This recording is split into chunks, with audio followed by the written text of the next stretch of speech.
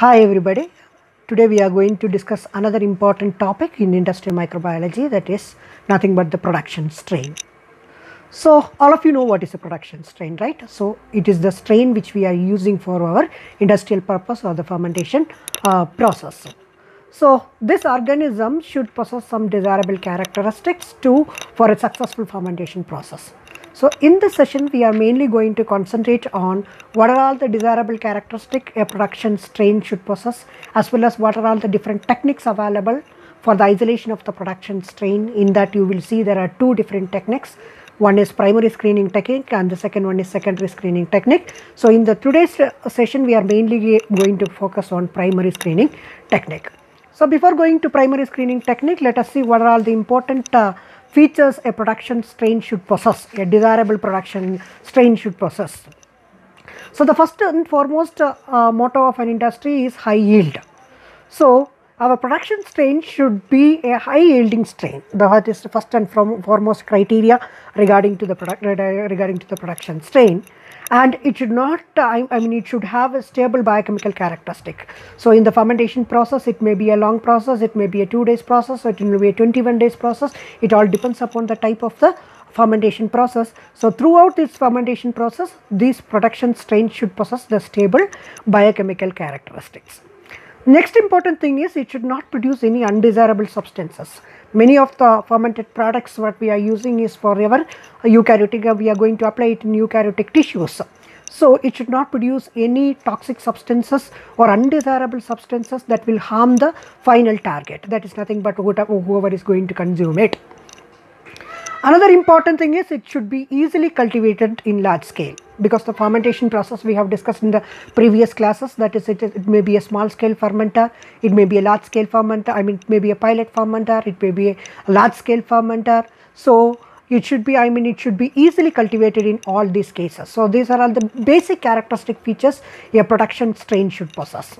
So if you just uh, have a look of this. So, the what are all the characteristics which we have discussed? Uh, one is it should be high yielding, it should be stable in biochemical characteristics that is what we discussed. It should not produce any undesirable substances and it should be easily cultivated on large scale. Okay, so these things, so these are all the basic parameters which makes your production strain as a apt fermenter, uh, fermentation organism for you.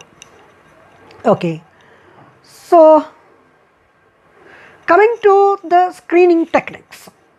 So, both the detection and isolation of high yielding species from the natural sources is called screening. Okay, so the basic definition of screening goes like this that is you are going to detect and you are going to isolate high yielding organism from the sources, natural sources. You know that depending upon the type of the organism you require, you have to select a particular source. I told you in the previous class that is if you want to isolate a cellulose degrading organism, select a soil, select a garden soil or a forest soil so that the cellulose will be rich over there. So, it depends upon the type of fermentation process you have to select a particular natural source and from there you have to detect it, you have to isolate it. So, that particular process is called what? Screening process. So, what is what is screening technique? It is nothing but detection and isolation of high yielding species from the natural sources which is called what? The screening process. So, industrially if you see screening process you can classify screening process into two categories one is primary screening and the second one is what secondary screening okay. So, there are two uh, types of screening one is primary screening and the next one is what the secondary screening. So, what, what is the meaning of primary screening? It is the initial step of screening process or it is the initial isolation process. So, in the primary screening uh, uh, there will be detection and isolation as I have discussed of the desired organism based on its quantitative sorry qualitative ability to produce the desired product like antibiotic, amino acid, growth factors, enzymes etc. Okay. So, so primary screening it is nothing but the detection and isolation of desired microorganism based on its uh, uh, qualitative ability to produce your desired product. Okay, it is the initial stage. You are going to detect and isolate. These are the two important aspects which you are going to cover in the primary screening technique. So, what do you mean by secondary screening? You have isolated an organism which is having the capacity to produce your desired product. Therefore, you have to go for formalization that is you have to find out what are all the important uh, sources which you have to provide for the growth and multiplication of this organism to produce your desired product.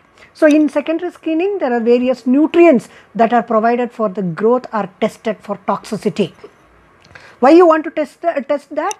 So that any nutrient component that is toxic to the growth of isolated strain should be eliminated. So it is nothing but a media formulation type of things that is you are what are all the components can be given, what should not be given, what should be added, what should be mixed with what, all these formulations you will be carrying out in the secondary screen, uh, screening. Okay. So in, in, the secondary screening you will be always uh, mm, also checking what the chemical solubility of the product produced. Okay. So, the major thing is primary screening is nothing but isolation and detection. Secondary screening is, screening is nothing but the formulation of the media and elimination of the toxic materials. All those things will come under the secondary screening technique. Okay, right. So, coming to the screening I just told you the screening can be classified you can just look at the this slide the screening can be classified into two primary screening and secondary screening I just told you we are mainly concentrating on primary screening technique so, in the primary screening technique, you can screen the organic acid producing microorganism. Okay, so there is a specific technique for that. That is nothing but using indicator dyes. You can uh, you can screen this type of organisms. Then antibiotic producing organism, one among the most uh, popular method which is used is nothing but crowded plate technique. We are going to discuss each and everything now.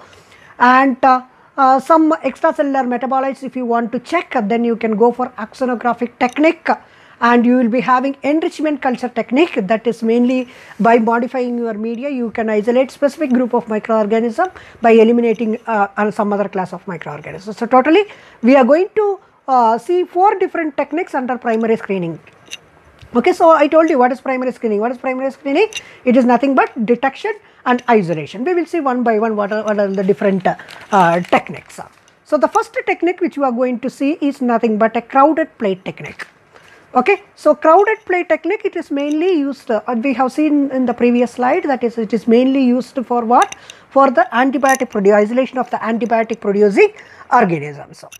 Okay, it is a very simplest technique and how we will be doing is uh, uh, you have to select a soil sample definitely the soil sample uh, we are selecting because it is a heterogeneous source of what microorganism. So, you are going to take, uh, take the soil sample.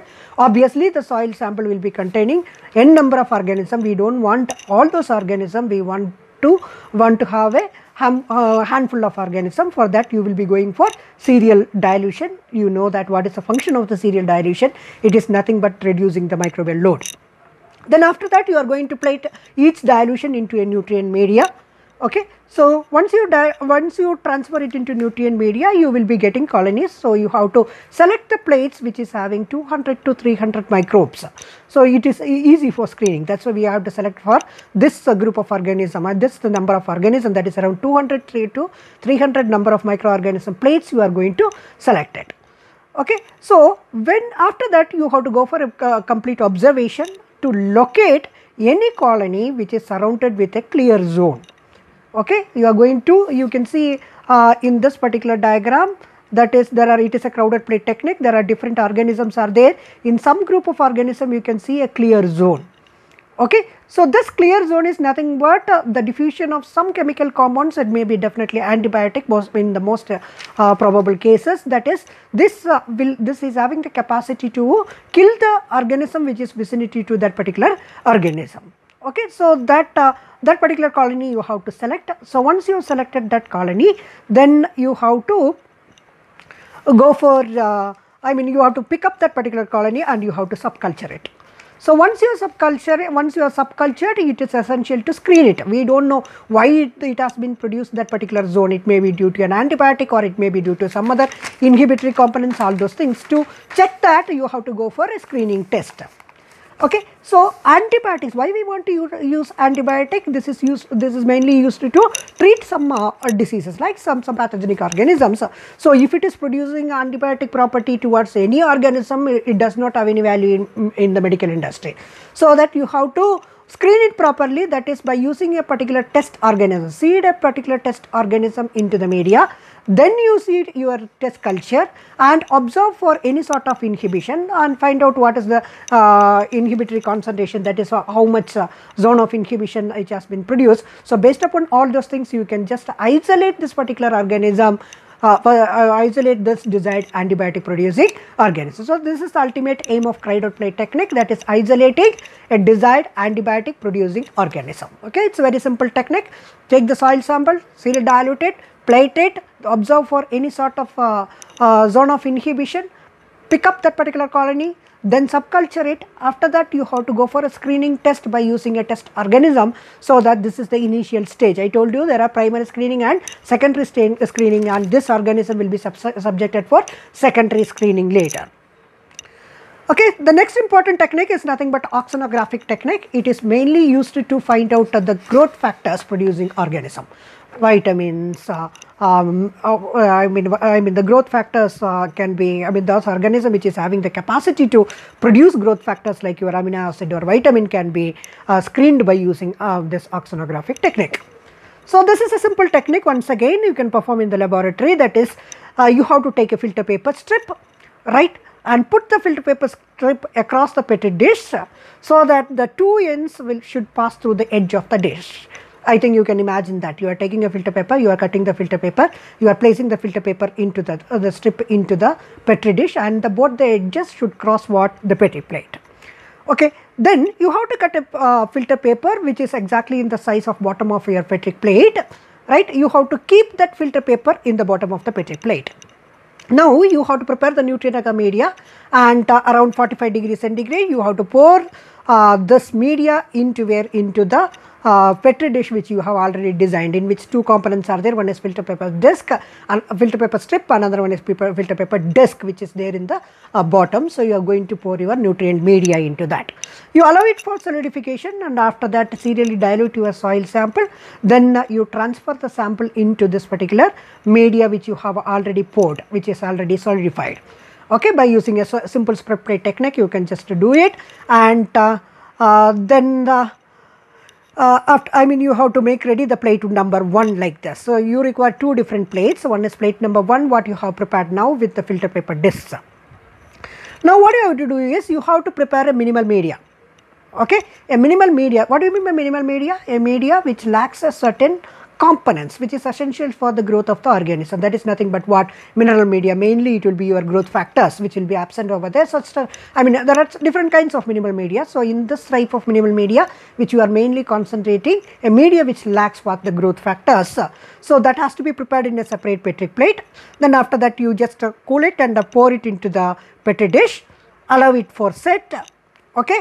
Then uh, what you have to do is you have to remove the uh, first one that is the first petri plate media which you have prepared. That is very easy to remove because you are already having a ribbon under this that is filter paper under this. You have to just take out that uh, uh, media which is already seeded with your soil sample and then place it into the minimal media okay so it should be done very uh, done in an aseptic condition so you place it and you have to keep it for incubation so, you have already seeded some organism in the top medium that is wherever the filter paper which you have impregnated or it, it has been uh, plated. So, uh, that media contains what the microorganism. So, the microorganism will grow after incubation time of 24 hours or 48 hours. So, once this is over, what will happen? So, those organism which is having the capacity, see uh, one more thing which I forgot to uh, tell mention here is your minimal media is seeded with some organism, some test organism. So, this organism will grow only in the presence of what? The growth factors, but your minimal media does not have the growth factors. Okay, so the test organism is completely spreaded in the bottom media. So, during the incubation process what will happen is whatever the top media your soil sample is plated, whichever the organism is having the capacity to produce the growth factor will diffuse into the media and it will go into the second media that is the media minimal media where in which your test organisms are seeded.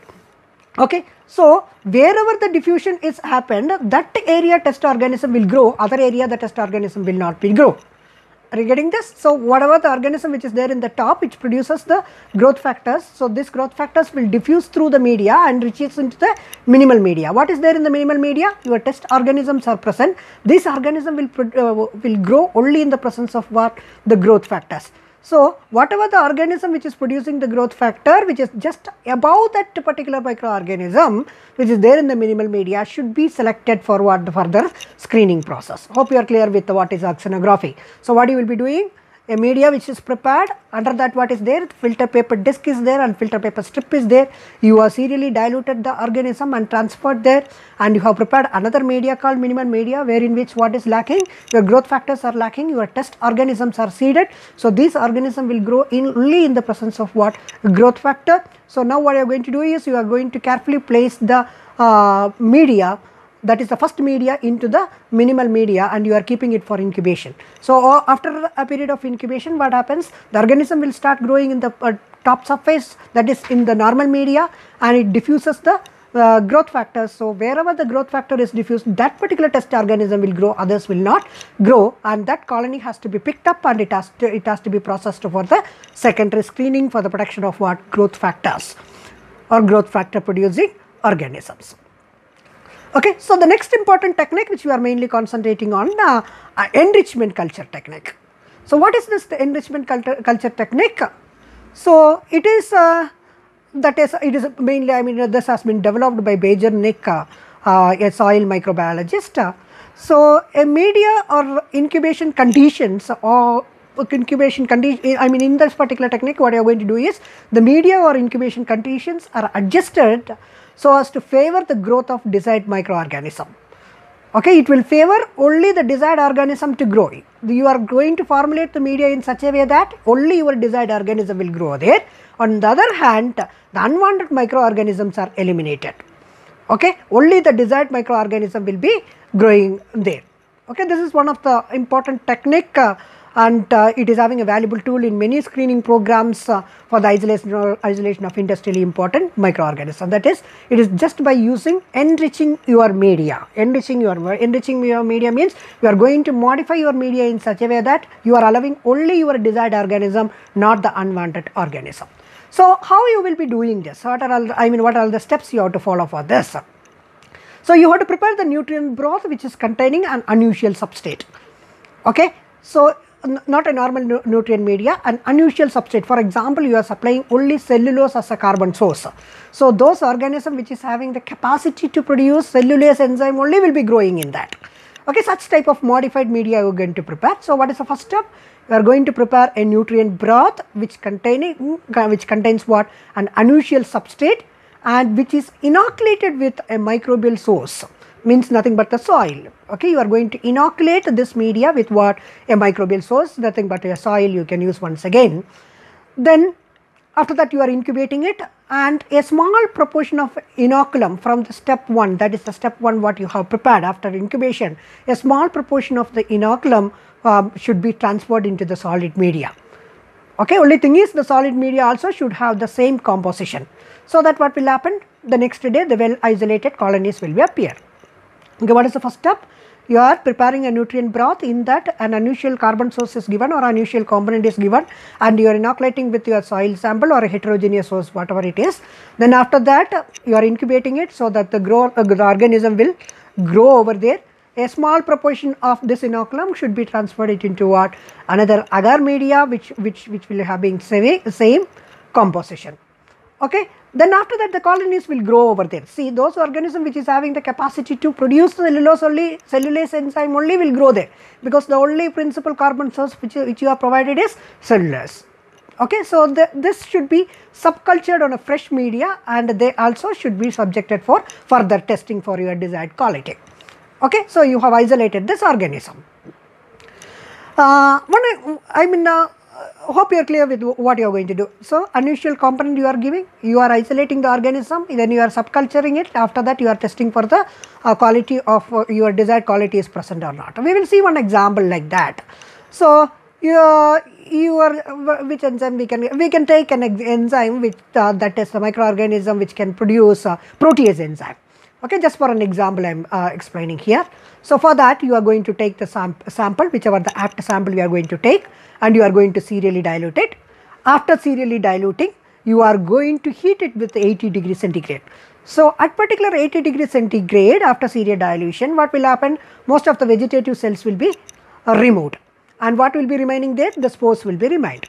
Okay, so I want an enzyme that is protease enzyme. We know that the spore forming organism having the capacity to produce what more amount of the protease enzymes. I mean many organism has, but if you see the spore forming organism, the capacity is much much higher. That's why we are going to heat it for 80 degree centigrade. Therefore, all the vegetative cells will be uh, removed. Only the spores will be there. Then you have you have to plate this particular sample into the media. Okay. So, the media is I, which enzyme I told you um, protease enzyme. So, protease enzyme. So, we will be taking a media, media which contains whatever uh, protein rich sample like a casein. Okay, I am giving casein as what the major uh, carbon source over there. Okay, so those organism which is having the capacity to uh, grow in the casein plate has to produce what protease enzyme. So, you can see the colonies will be surrounded by a clear zone okay because casein would have hydrolyzed because of the production of what the protease enzyme. So, now I understood that the organism which I have isolated is having the capacity to produce what protease. Then later steps secondary screening you have to go for you have to go for uh, uh, strain improvement all those things which we have discussed uh, in the previous class how to do a strain improvement process. Okay, so this is how the enrichment culture technique uh, uh, can be followed or enrichment technique can be done. So, it is a very simple technique the principle behind this or the technique behind this you are modifying your media so that you are allowing only the organism which you require and removing the organism which you doesn't want. Okay? So the last technique under uh, primary screening method is nothing but what? Use of an indicator dye. Okay? So the ph indicator dyes can be used uh, uh, for some screening methods for detecting the microorganisms right? So this organism I mean I, I just told that the pH indicator dyes can be also used for what uh, screening to screening for the microorganism which is having the capacity to produce mainly organic acids or amines. Okay. So, a media pH is 7. So, once the organism is having the capacity to produce some organic acid what will happen the pH lowers down. If it is having the capacity to produce some alkaline product the pH will go up. So, you are incorporating a particular dye over there. So, depending upon the change in the color of the dye, you will detect that what type of product has been produced in the media. So, coming to the pH indicator, the pH indicator dye undergoes color changes according to the pH just now I told you. Such dye, dyes, examples of uh, such dyes are neutral red, bromothymol blue, so many things are there which we are using in the laboratory and this particular dye should be added into the media only thing is the media should be controlled in such a way that it is poorly buffered. You know that if you are completely buffered what will happen it will resist the pH so you should not allow for that it should be poorly buffered media. Okay. So, the change in the color of the dye in the vicinity of the colony that suggests I mean the capacity of the colony to produce a particular product organic acids or amine whatever it is.